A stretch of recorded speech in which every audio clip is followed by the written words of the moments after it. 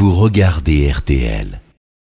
Je crains que euh, les personnes qui sont face à moi aient intégré qu'il euh, n'y a plus rien à espérer du côté de la moralisation de la vie politique. Et moi, je dis au contraire, nous n'avons jamais été aussi euh, clairs dans notre engagement. Donc vous dites que sur l'affaire. Benalla, il y a un silence éloquent, en quelque sorte. Ben, je, je- je dirais que effectivement le silence peut être euh, in fine euh, dangereux parce que s'immisce euh, une idée que, que les politiques ne sont pas capables d'être honnêtes et moi je le dis ne regardez pas une personne, regardez l'ensemble de la classe politique, regardez où nous en sommes, regardez notre transparence, regardez notre engagement, regardez le parcours de certains, ce qu'ils ont abandonné pour servir l'intérêt commun. C'est ça que les gens, les Français doivent regarder.